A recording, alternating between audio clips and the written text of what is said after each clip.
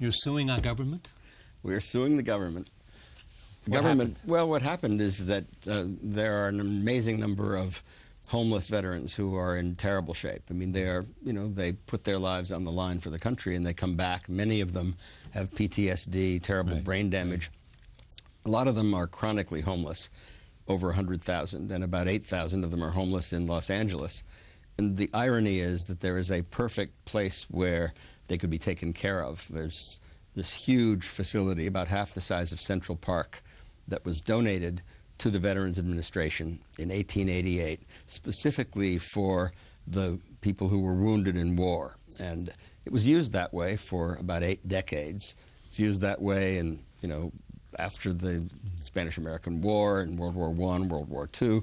But for some reason, we began turning our back on the vets around the time of the Vietnam War, and now it's used for, um, you know, high-end rentals. It's used for a laundry facility, for hotels. It's used for a golf course.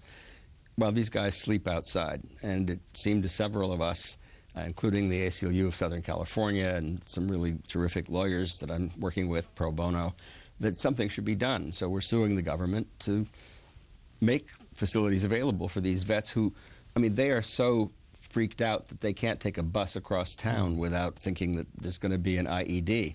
So mm. they have to be taken care of in permanent housing facilities right near where they live. Uh, they're homeless. They sleep uh, under freeway overpasses. They they sleep in dumpsters.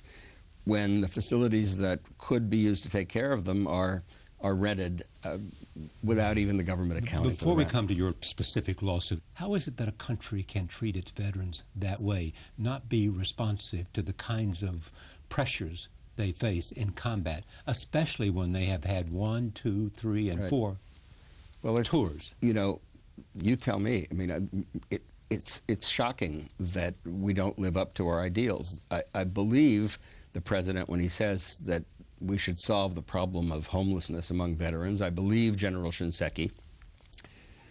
They've got a lot on their plate, and they have high aspirations. But these veterans, in the meantime, are are roaming the streets, sleeping, uh, sleeping under bridges, uh, and there's a huge gap between our rhetoric and, and reality. Join us online at charlierose.com.